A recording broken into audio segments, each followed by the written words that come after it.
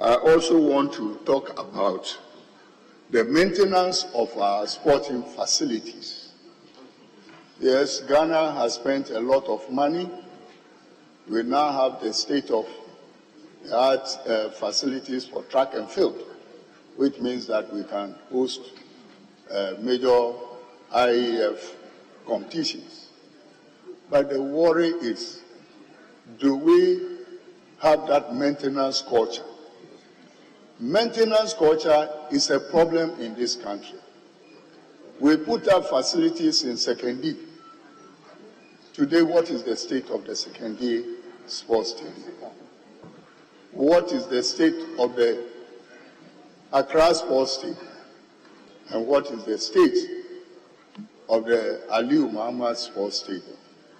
They all need money to put them into good shape to be able to host major football competitions.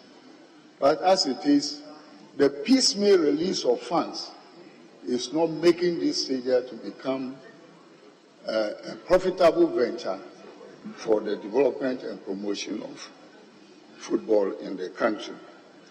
I'm, however, worried and disturbed, and I pointed that out to the NSA, that the stadium were constructed to promote sports-related activities.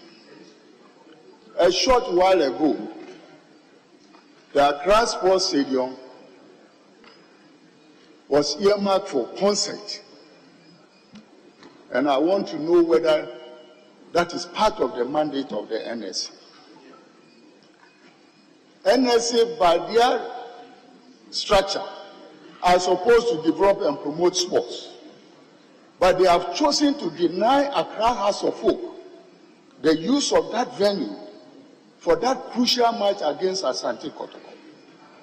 Both teams have lost revenue as a result of not allowing us to play on their traditional uh, uh, uh, home grounds, but move the match to Kumasi.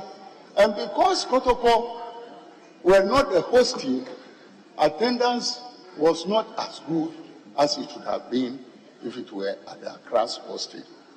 So I want to advise the minister to ensure that such practices by the NSC, by relegating sports related activities to the background and giving the facility for the promoting, promotion of other uh, unrelated activities for the purpose for which the stadium has been put up.